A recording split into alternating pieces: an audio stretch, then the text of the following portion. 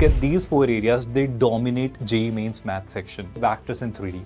There you get easy marks. So yes, they are the rank maker. Two to three questions, short, short questions are asked from matrices and determinants.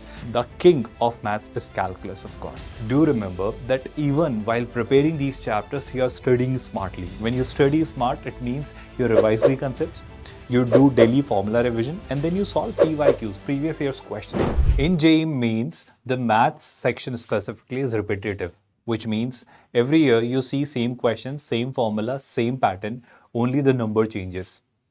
So if you look at these four areas, they dominate JEE Mains math section. If I could begin with, I'll say vectors in 3D. There you get easy marks. And of course, if you master these concepts, for example, direction ratios, lines and planes, then of course, with this low theory, you get high return from this chapter.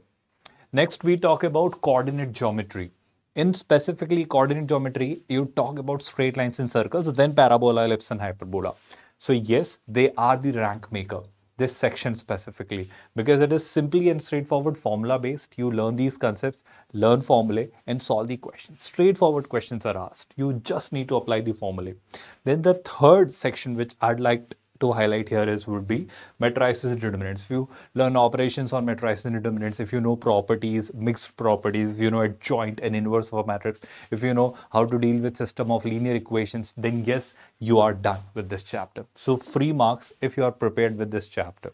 And two to three questions, short, short questions are asked from matrices and determinants. Then the fourth section, the king of maths is calculus, of course.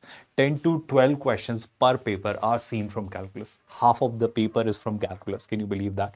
Look at these chapters, limits continuity, application of derivatives, area under the curve, definite integration and differential equations. Even if you master these chapters, basically this is entire calculus. But yes, if you look at calculus, you are done.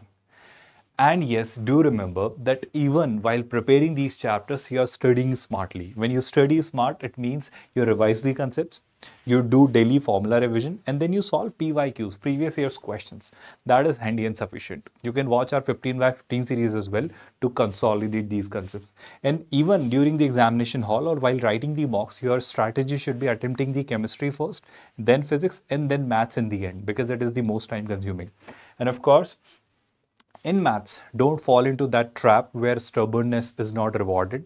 Try and understand every question, each question carries same marks. So go for the easy and moderate questions. Don't try to solve tough questions.